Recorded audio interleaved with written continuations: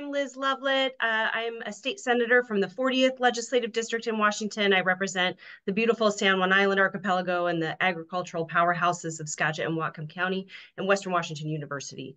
Uh, I'm here today because I am such a huge uh, believer in the power of infrastructure uh, to improve our communities, to improve our climate outcomes, and to make real investments with real dollars to deal with the environmental justice, calamities that we have caused communities throughout our history as a nation.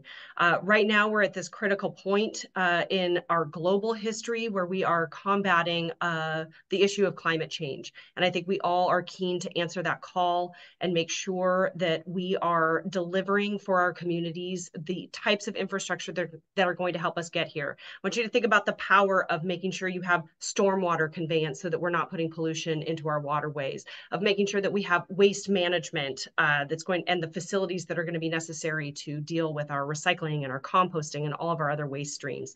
Uh, making sure that we have the infrastructure installed to charge electric vehicles and to produce green hydrogen that is going to fuel our heavy ships and heavy transportation moving into the future. These are all things that can be realized with the National Infrastructure Bank. Uh, the thing about infrastructure is it's the gift that keeps on giving. As soon as you fill a pothole or build a boat or repair a bridge, you're going to need to do it again if you're having any kind of reality about a maintenance schedule. Uh, and that's the place where we're at right now. We're in a deferred maintenance backlog in communities large and small across America.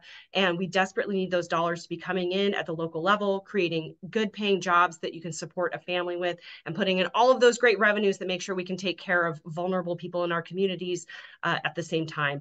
I love that this doesn't create new debt. Um, I've been a champion for the state bank proposal in Washington for many years now, uh, trying to figure out how to do a similar proposal for kind of the mid-sized projects, but the mega projects are incredibly difficult to capitalize. And so that's where I think we are going to find so much value uh, across our nation when we're investing in infrastructure at the local level. Good jobs, solving climate change, and building healing from past harms. Uh, mm-hmm. That's what an infra infrastructure bank represents to me. So thanks to everybody for having me out here today.